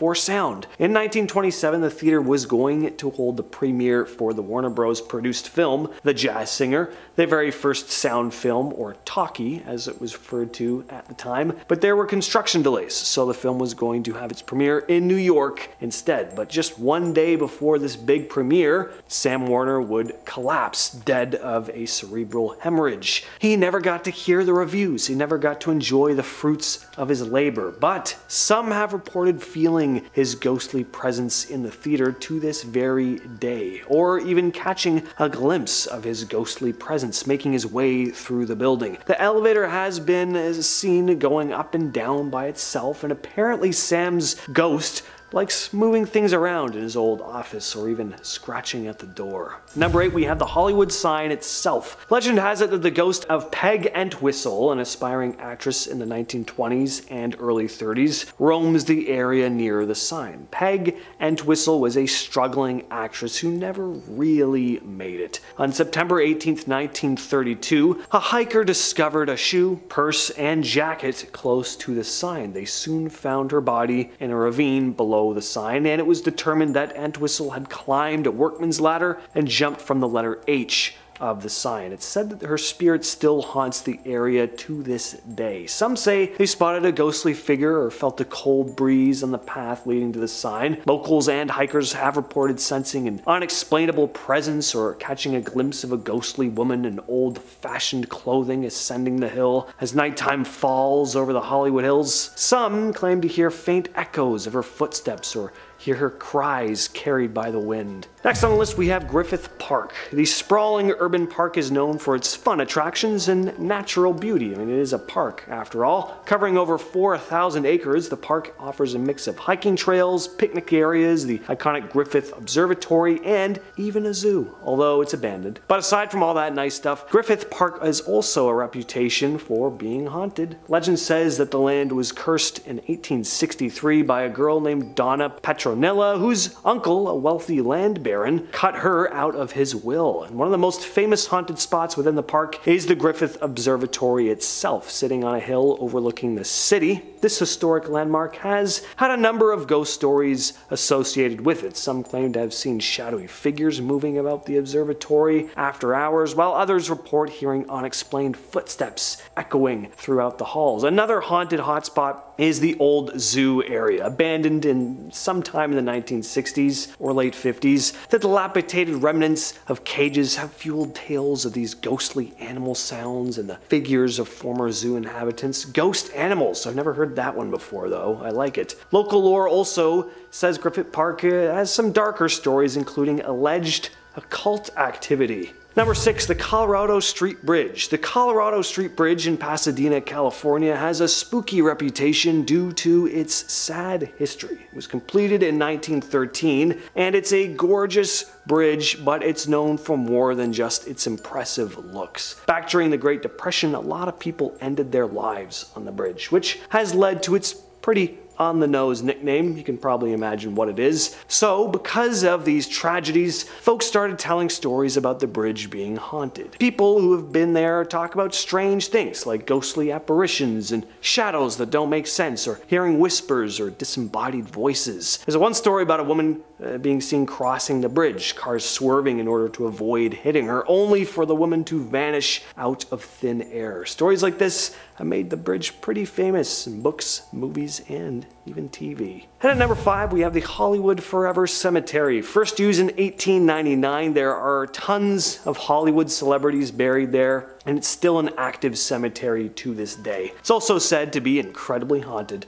Are there any cemeteries that aren't haunted though? Visitors have reported all kinds of paranormal activity here. You have your standard haunted place, like kind of stuff, cold spots, disembodied voices, semi-translucent people roaming around. But one that comes up a lot apparently is that of a woman crying by a lake on the cemetery grounds. Of course, she vanishes when you approach her. I do imagine there is uh, plenty of crying going on in a cemetery because of all the dead people, but uh, this is different. Next up, we have Grauman's Chinese Theater. This is probably one of the most famous movie theaters in the world. Its forecourt has concrete tiles with the handprints and signatures of various different stars, and the building itself takes inspiration from ancient Chinese architecture. The theater was opened by Sid Grauman in 1927, and apparently he had built hidden rooms in the theater for his famous friends to party in and there was like a buzzer system that would allow them inside these rooms. Those hidden rooms have since been sealed off, but one famous story tells of an employee in the 90s who kept hearing buzzers going off in some of these old secret rooms, although the buzzers had long been disconnected as well. There's also said to be the ghost of a former employee uh, of the theater named Fritz, who took his own life behind the movie screen. And there's also apparently a ghost of a young girl in old-timey clothing named Annabelle, who roams about the theater at night. Coming in at number three, we have the Pantages Theater. This theater, located in the heart of Hollywood, is a historic building with a reputation for being haunted by ghouls and ghosts. Built in 1930, the theater has hosted you know, a variety of performances over the years, vaudeville acts, films, and back in 1949, Howard Hughes, the millionaire aviator, took control of RKO Studios and its main theater, Pantages. He set up his fancy offices in the second floor, and his presence is often still felt even today, apparently. Hughes seems to have a unique signal, the smell of cigarette smoke, which seems to announce his arrival, although he disliked smoking. A ghostly apparition of him, tall and thin in a simple suit, has been reported being seen walking through a wall that used to be his office doorway. But he's not the only specter said to haunt the building. In 1932, a woman passed away in the mezzanine during a show. Over time, people started hearing a woman's voice singing in the theater, sometimes during the day and even late at night after everyone left. The staff had a theory. The woman might have been an aspiring singer who came to enjoy musicals in the 30s. Now she seems to be living her dream by performing on stage herself. Engineers have even caught her voice on a live performance microphone in one show, even though no one could actually see her on stage. Coming in at number two, we have the Cecil Hotel. If you have any interest in haunted buildings or just creepy internet content, there's no doubt that you've heard of the Cecil Hotel. This historic hotel, now an affordable housing complex known as the Stay on Main, is pretty famous for a series of dark incidents. A lot of deaths have taken place there, and the circumstances of some of them are quite mysterious, some of which have never even been solved. Probably the most famous case uh, this building is connected to is Elisa Lam, who had gone missing for a while with nothing but footage of her kind of erratic behavior captured in one of the elevator's security cameras. Her body was eventually found, however, she had managed to make her way to the roof where she fell into an open water tank. She was discovered after guests had reported their water running black and having an odd taste. The Cecil was also home to some pretty notorious people, like the Night Stalker himself, Richard Ramirez. There are so many dark stories surrounding this place that many believe it to be haunted by countless spirits of those who met their end within its walls. And finally, we have the Roosevelt Hotel. The Hollywood Roosevelt is rumored to be haunted by the ghost of Marilyn Monroe. There used to be a mirror in the lobby where people would report spotting her reflection when taking a picture in front of it. Room 928 is also supposedly haunted by the ghost of Montgomery Clift, who lived in the room while filming Here to Eternity. There have been a number of stories where people hear the sounds of a trumpet playing coming from the room, even when the room is vacant. The hotel switchboard is also known to receive calls from empty rooms, and faucets and lights have been known to turn on by themselves as well. I like the sound of this, nothing necessarily harmful going on. You got some trumpet playing in the room next to you, your lights turn out without you even having to get up. You can snap a picture with Marilyn Monroe on your way out. When you look at it that way, it sounds like a pretty relaxing time. Number 10. Malabar Farm. Malabar Farm was built in 1939 by Pulitzer Prize winning author Louis Bromfield and was his home until his death in 1956. But before it was built, another family lived there in the 19th century. Celie Rose, a challenged young woman who lived there with her family, developed a romantic fixation on a neighborhood boy. When Celie's family told her to stop claiming the boy as her fiance, she mixed mixed rat poison in their porridge. Her father and brother died, but her mother survived. At her trial, Celie couldn't understand why her parents didn't come to see her. After all, she said, the rats always came back after her daddy fed them rat poison in the barn. Afterwards, she went on and lived with her mother, whom yes, she tried to kill, but then Celie poisoned her again, and this time it worked. At age 23, Celie stood trial truly alone, but was found not guilty by reason of insanity and sent to a state hospital. She lived out the rest of her life in an insane asylum and since then the house has been haunted. One visitor saw a woman dressed like Celie Rose outside the house, people have seen lights flicker, felt a phantom cat, disembodied voices are heard, and there's an overall eerie feeling on the property. Yeah,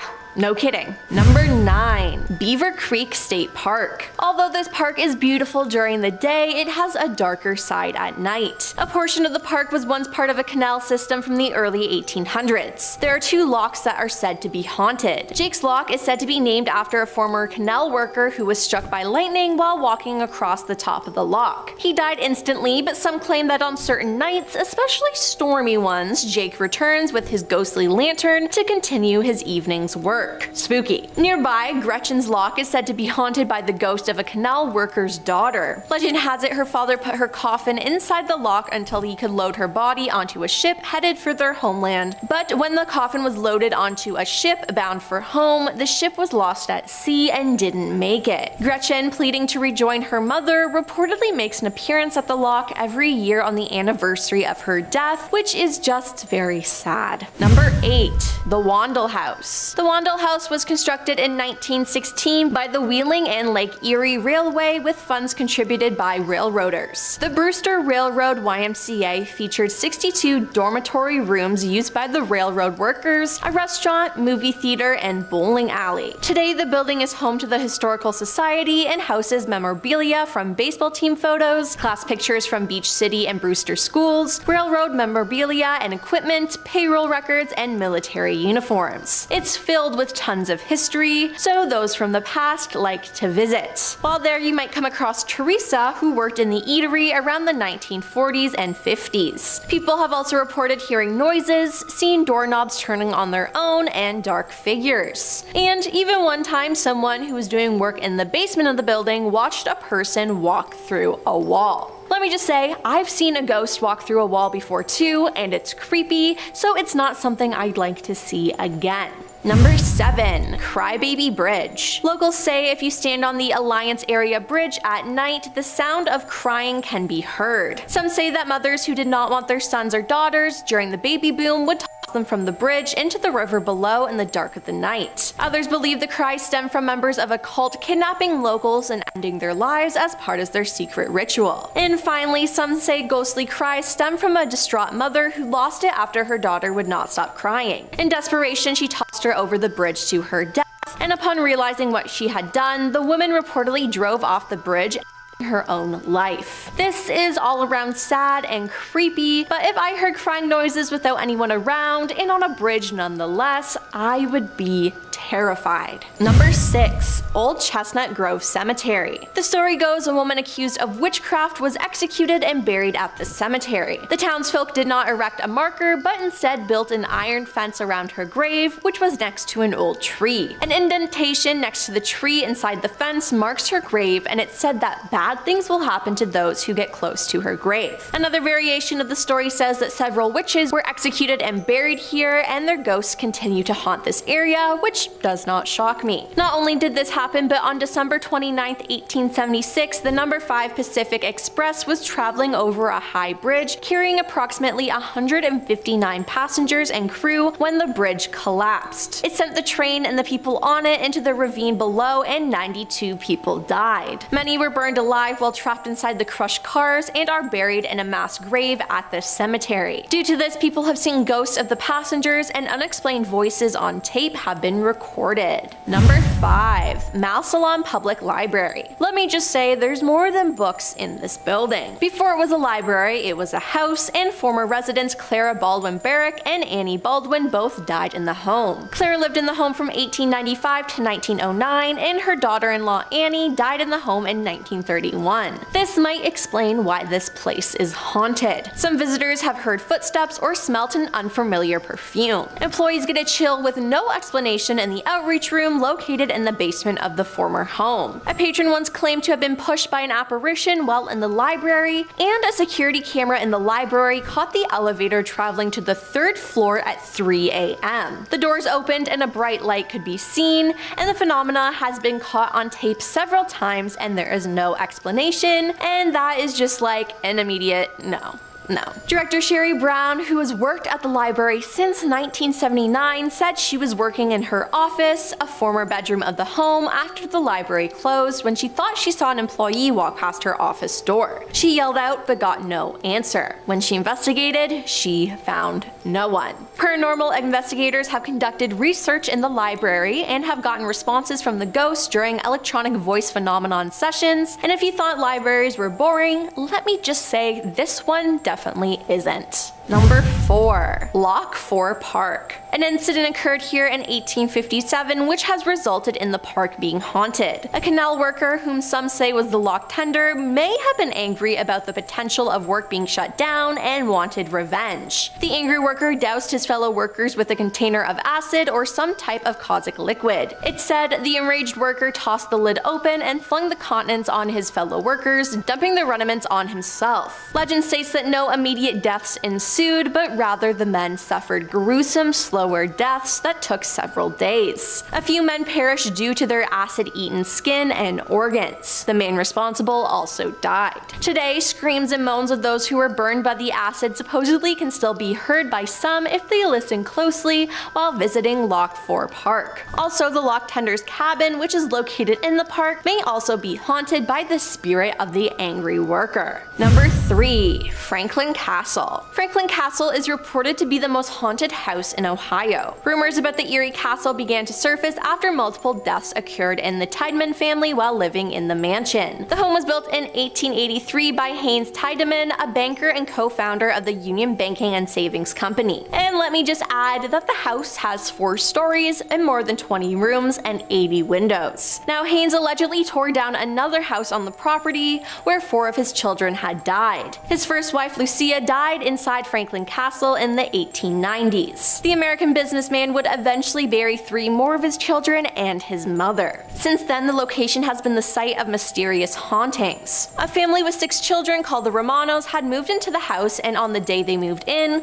two of their children said they encountered a crying girl in white on the third floor. But when Miss Romano investigated, no one was there. Soon the family started hearing haunting organ music and heavy footsteps. Two of the older Romano children woke up one night to find something yanking the blankets off their bed. And Miss Romano once awoke to find herself screaming on her bedroom floor with an unseen presence screaming beside her. A priest advised the Romanos to move out and in 1974 they did. But the hauntings didn't stop when the Romanos left. From there the house was sold again and again and again. Each new occupant reported strange occurrences like passing through odd vapors, hearing a child crying, or seeing a woman in black standing in the window. Since reports of hauntings at Franklin's castle increased, many turned their suspicions onto its original owner. Number 2. Sister Century House Restaurant. Now a restaurant, this building has seen a lot in the past. It was built in 1870 and has been home to several businesses in historic Canal Fulton throughout the years. It currently houses a family-owned restaurant, but was most notably home to a crematorium, which was located in the basement back in the early 1900s. I mean, since this place was once filled with dead people, it's no shock that it's haunted. There have been rumors of shadow people, a poltergeist in the kitchen, ghostly ladies in the basement, the entrance to an old tunnel, and even an unusual room that makes people a bit dizzy. The food though seems to be great as the restaurant has a 4.6 star rating, so if you want to see some ghosts and have a great meal, I suggest you check this place out. And coming in at number 1, the Ohio State Reformatory. The Ohio State Reformatory opened its doors on September 15, 1896 to its first 150 offenders. These prisoners were brought by train from Columbus and put immediately to work on the prison sewer system and the 25 foot stone walls surrounding the complex. The reformatory remained in full operation until December 1990 when it was closed via federal court order as a result of a prisoner's class action suit citing overcrowding and inhumane conditions. For example, in the late 1930s, a riot broke out in the East Cell Block. The guards condemned 120 rioters to share 12 solitary confinement cells for one week without food or water. This punishment drove many to the brink of madness and death. During its 94 years as a working prison, 154,000 inmates passed through the gates of the Ohio State Reformatory. Many died of diseases like influenza and tuberculosis, some went mad, others ended their lives, and at least one inmate lit himself on fire. Just outside the reformatory, there are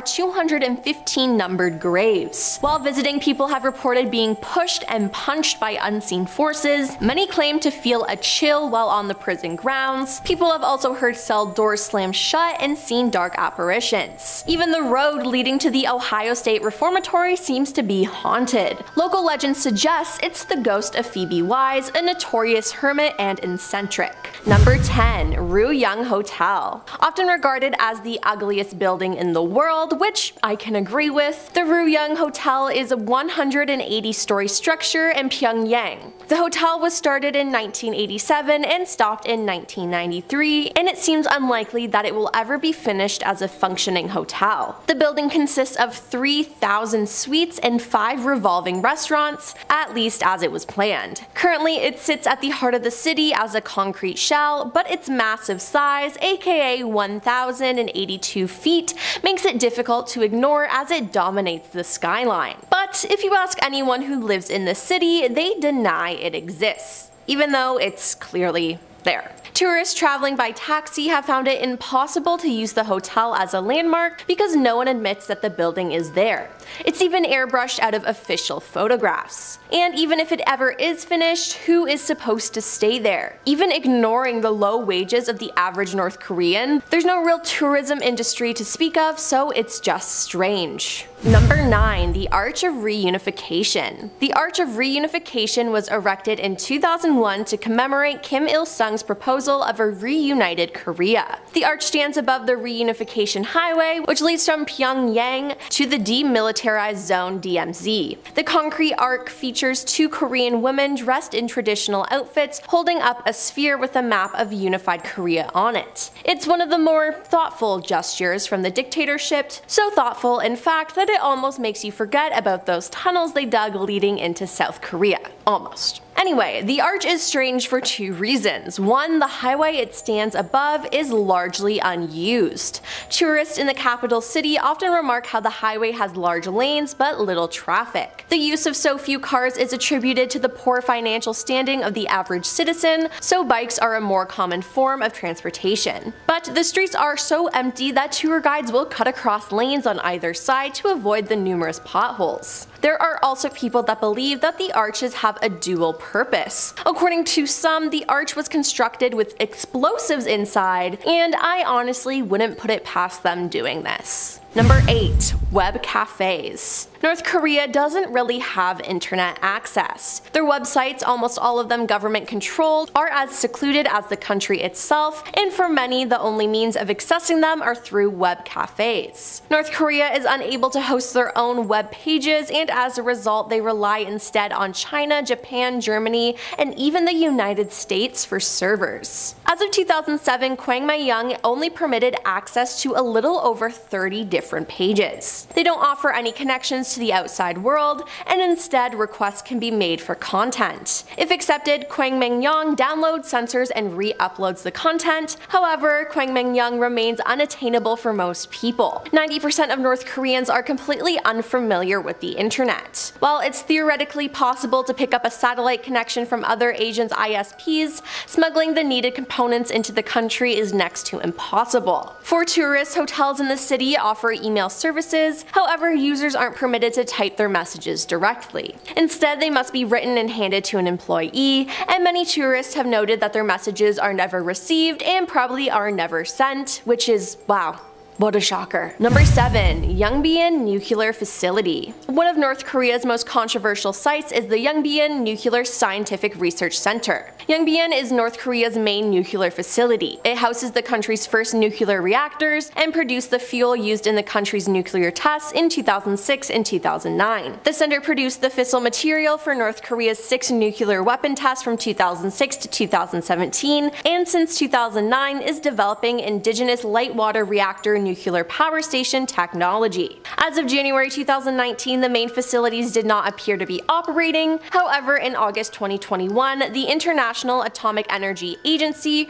reported North Korea appeared to have restarted the 5MW reactor, so that's fun. Number 6. Kim Jong-il's tomb When North Korea's great leader Kim Il-sung suddenly died in 1994, the country was in a state of staged national mourning that had never been seen before on such a scale. Then when his successor, the great leader's son Kim Jong-il, the dear leader, suddenly died as well at the end of 2011, the scenes of public mourning even topped those in 1994. Now they lay to rest in the same building, but with everything in North Korea, you just can't go there and visit. One tourist got the chance and said, You're at the mercy of your tour guides and what they've been told they can show you. When we went, Kim Jong il was laying in state in his glass coffin. Somber music piped through hidden loudspeakers, not a word was spoken. Guards made sure the procedures were orderly and appropriate. We had to line up in fours and bow three times at the great leader's feet and both sides, but not the head, as this is regarded as disrespectful apparently. You also can't take photographs. Now, that description just sounds overall spooky, and I don't think I'd want to go there even if I could. Number 5. Hwaseong Camp The 212 square mile prison camp is believed to house 10,000 people, many of them political prisoners. Reportedly, no one has ever escaped. Prisoners are exploited for hard, dangerous, and deadly labor in mining, logging, and agriculture. According to Mr. Lee, a former security officer in Hwasong camp, the inmates were overworked and they had very little time to rest. Prisoners had to work all day until they fulfilled their quotas and attend self-criticism meetings afterward. Often they were allowed to sleep only for 4 hours at night. Mr. Lee witnessed many fatal accidents in the workplace and information is extremely limited as the camp has always been a maximum security camp under strict control and surveillance. An unidentified teenager reported how he was sent to the camp with his entire family at age 13. He witnessed his father being beaten cruelly and his mother and sisters being taken advantage of by security guards. Residents from nearby villages have heard about the horrific conditions inside the camp, but were never allowed to get near the camp. Number 4. Kijong-dong Kijong-dong, better known as Propaganda Village, is a truly creepy place in North Korea. Built in the 1950s, Kijong-dong is situated on North Korea's end of the DMZ and has a grand total of 200 people living in it. Well, that's if you believe the North Korean government. In reality, there are absolutely no residents. Zero. It's completely empty. The village was designed to show off the virtues of North Korean lifestyle to South Korean villages in view and to lead to defection. The brightly painted concrete buildings were much more lavish than rural villagers in either country could afford. Each building is wired for electricity with lights running on a timer. Skeleton crews appear at night to maintain the buildings and give the general appearance that someone might actually be living there. However, anyone with a set of binoculars can see that the buildings are empty, some completely lacking floors, ceilings, and even glass windows. Whether or not the village has led to defection is unknown, but it's hard to imagine anyone falling for the trick nearly 60 years later. Number 3. Kim Il-sung Stadium Kim Il-sung Stadium is a multi-purpose stadium located in Pyongyang, the capital city of North Korea. It's the largest stadium in the world and can house 150,000 people. Now, I know what you're thinking. How can a stadium be scary? Well, what it's used for is truly haunting. Rarely, if ever, are there any sports events held there as the stadium is mostly used for propaganda and military parades. During these parades, there are many huge images shown in the stands, but it's actually just North Koreans holding up a piece of cardboard to create the image. They have to stand there holding up the cardboard for hours. It's also been alleged that traitors of the state have been taken into the stadium to be paraded around and have never been seen again. In particular, a group of generals disappeared in the stadium after an attempted coup attempt. And later on that day, smoke could be seen coming out of the stadium. Number 2. Room 39 Room 39 is an organization meant to get foreign currency for the leader through any means necessary. It was established by the nation's forefather Kim Il-sung in the late 1970s. The agents there would manufacture drugs, counterfeit notes, deal arms, and traffic humans to fund their leader's lavish lifestyle. They hired chemists to produce which are then smuggled to Japan, China, and across Asia. The mysterious organization is estimated to bring Kim Jong-un between, between 500 million and 1 billion dollars per year, enabling him to buy political support and fund nuclear programs. With the revenue from Room 39, Kim never goes hungry. While his people starve to death, Kim enjoys dishes like foie gras, lobster, and caviar. Overall, this is just insane to me how they can get away with this.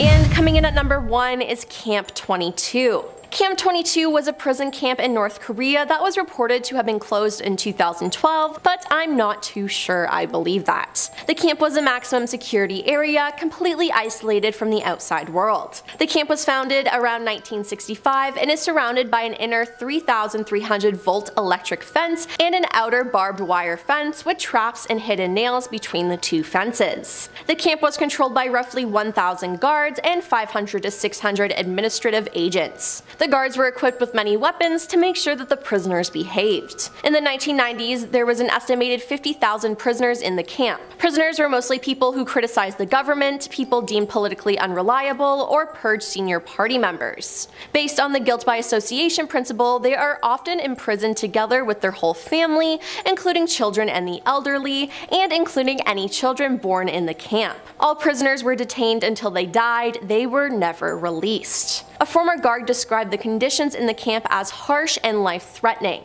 He likened the prisoners to walking skeletons, dwarfs, and cripples in rags. He estimated that about 30% of the prisoners had deformities, such as torn off ears, smashed eyes, crooked noses, and faces covered with cuts and scars resulting from beatings and other mistreatment. Around 2,000 prisoners, he said, had missing limbs, but even prisoners who needed crutches to walk were still forced to work. Prisoners had to do hard physical labor in agriculture, mining, and inside factories from 5 a.m. to 8 p.m., followed by ideological re-education and self-criticism sessions. Almost 30,000 people reportedly died of starvation at this camp in 2012. This is literally so disgusting, and it makes me so upset that humans could treat other people that way. Ugh. Number 10. Satan's Castle San Bernardino. Yes, this place is called Satan's Castle, and it's a no from me. Satan's Castle sits on a mountainous region that is filled with both religious and satanic lore dating back to the 19th century. There are said to be underground tunnels linking to various points of interest across the mountain, which were used during the Prohibition era. These tunnels were created mostly for transportation and smuggling booze, but also served for darker purposes. One of these tunnels is rumored to connect a Catholic church to Satan's castle. It is said to have been the grounds for dark ritualistic practices which included both human and animal sacrifices along with other dark ceremonies. Not to mention inside one of the rooms a pentagram used to be painted on the ground. Local Christians painted over it with the John 3.16 verse but the pentagram always bled through. Definitely sounds satanic to me and I will not be visiting there. Number 9. Preston Castle, Ione. The Preston School of Industry, also known as Preston Castle, was a reform school that opened in June 1894 and was considered one of the oldest and best known reform schools in the United States. The boys there grew their own food, raised livestock, and learned farming trades. Additionally, there was a print shop, bakery, and cobbler shop where the boys could learn skills for self-preservation in the real world. The superintendent controlled the life inside the school and discipline was extreme. Starvation, isolation, and public paddling and lashings, and severe strategies were common at Preston. Now, this school has seen a lot of death there are 17 men buried on the school grounds because they died there. Samuel Goines had his life ended after attempting to escape from the school. In 1950, Preston's head housekeeper Anna Corbin was beaten to death in the school's basement as well, and they never found out who did it. Employees and visitors believe that these young men are still haunting the school, which only closed in 1960 by the way. Those who have toured the grounds since have reported many strange sights and sounds, slamming doors, falling objects, disembodied voices, and ghostly physical contact. Number 8. Camp Pendleton Area 41, San Diego. Camp Pendleton is a coastal Marine Corps base with a dark history. This place is divided up into sections and Area 41 is haunted. Locks have been tampered with, furniture displaced, items gone missing, and strange noises are heard throughout the camp. Many think that this is done by one broken-hearted Marine in particular. This man was in love and had recently asked his girlfriend to marry him. After she had said yes, he thought his life was going great, but it didn't last long. The Marine was in his housing unit when his fiance got a hold of him and told him that she was ending the relationship. He was so upset that he ended his life in a second story room of the barracks. Now, some Marines are convinced his spirit remains in the area and haunts Area 41 in particular. A general feeling of unease is common here and to this day Marines claim that they hear the faint sound of a man softly humming the Jeopardy game show theme song around the grounds. I'm sorry. What? Number 7. The Hotel de Coronado, San Diego. Hotel de Coronado is a historic hotel that opened in 1888. Kate Morgan has haunted this hotel since 1892, the year she checked in and awaited the arrival of her husband. The two were traveling con artists, and not surprisingly, her husband never showed up, and four days later, Kate was found dead at the bottom of an outdoor staircase leading to the Coronado Beach. Today, those who check into Kate's room, which is now room 3312, have had spooky experiences to say the least. Curtains blowing even though the windows are closed, objects moved by unseen hands, murmuring sounds, and even sightings of Kate walking down the hallways and peering out the windows have all been reported. Her ghost is often seen both in the hotel and on the beach. Now room 3519, formerly room 3502, is also haunted. Once a maid's room, it's been the site of numerous paranormal occurrences places, such as objects moving around by themselves. Number 6. The Whaley House, San Diego. The Whaley House is the oldest brick structure in Southern California and was the home of Thomas Whaley and his family. At various times, it also housed Whaley's General Store, San Diego's second county courthouse, and the first commercial theater in San Diego. The house has witnessed more history than any other building in the city, and it is extremely haunted. One of the most infamous ghosts there is the spirit of Yankee Jim Robinson. Yankee Jim was hanged in the gallows where the house now stands in 1852 after being convicted of stealing horses. Thomas Whaley himself, who owned and lived in the house with his family years later, said they could hear heavy footsteps going up and down the stairs. Now visitors have reported cold spots and the feeling of their chest and throat tightening within the home. Others claim to have seen Yankee Jim 2, an apparition that appears and disappears when you get too close. Today, and for many years, visitors to the house have also reported seeing Thomas. They usually see him wearing a frock coat and pantaloons standing on the second story landing.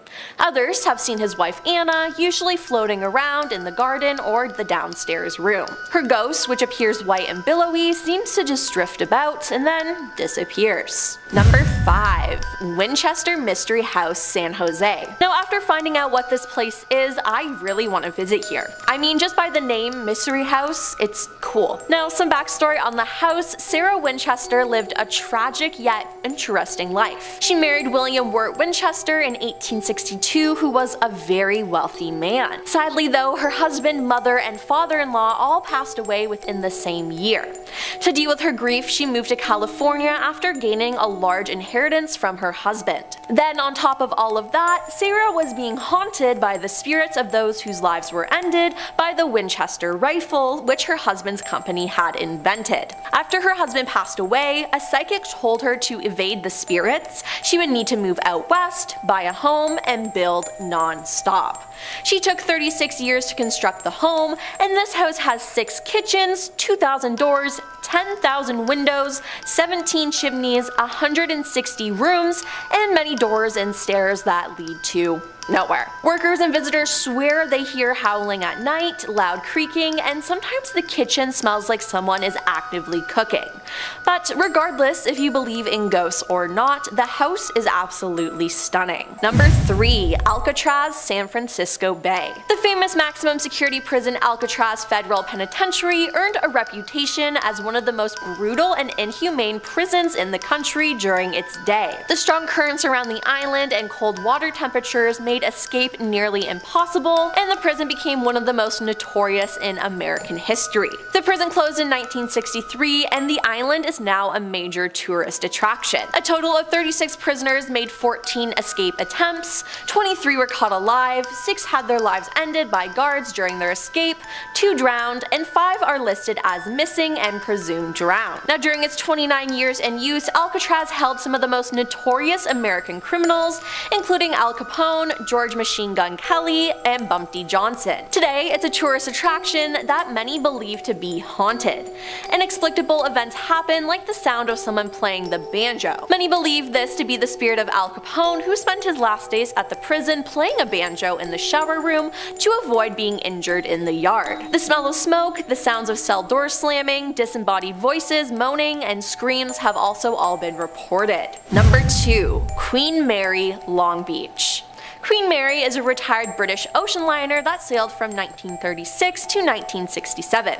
She sailed to the port of Long Beach, California, where she is permanently docked. The city of Long Beach bought the ship to serve as a tourist attraction, featuring restaurants, a museum, and a hotel, but claims were made that the ship was haunted. There are resident spirits, including Jackie, the little girl who haunts the first class pool, John Pedder, who was crushed by a watertight door, Senior Second Officer William Eric Stark, who accidentally drank dry cleaning fluid instead of gin, and the cook, who was baked alive by his own kitchen staff during World War II. But most arguably, the most notorious location on the ship for paranormal activity is room B340. Reports claim someone was knocking on the door in the middle of the night, bathroom lights turning on by themselves, the sink faucet turning on and off on its own, and unexplained bathroom doors shutting. Some guests have reported the covers of their bed being pulled off while asleep and waking to see a dark figure standing at the foot of the bed. There are even more stories about this place, but I don't have enough time to fit them all in. If you're really interested in Queen Mary, I say do some homework on it because it definitely gets creepier. And coming in at number 1 is the Cecil Hotel, Los Angeles. The Cecil Hotel opened in 1925 as a well-furnished hostelry frequented by respectable people, but that didn't last long. As downtown became more and more dangerous, the Cecil became a place where bad people stayed, like the Night Stalker aka Richard Ramirez and Austrian killer Jack Unterweger spent time there. The Black Dahlia was rumored to have had her last drink at the hotel bar before she turned up dead a few miles away. In 1962, Pauline Otton jumped from the ninth floor window, ending her life. That same year, Julia Moore jumped from an 8th floor window, and Helen Green from the 7th floor in 1954. The Cecil Hotel may have rebranded itself recently as the Stay on Main, but it just can't shake its reputation as a place where scary things happen. In 2013, the body of Canadian tourist Elisa Lam was found in the hotel's rooftop cistern. Her body was discovered by a hotel maintenance worker investigating complaints of flooding and low water pressure. And yes, people had been showering in and drinking that water. Ugh. And last but not least, the ghost of a boy has reportedly been photographed outside a fourth floor window. Spooky.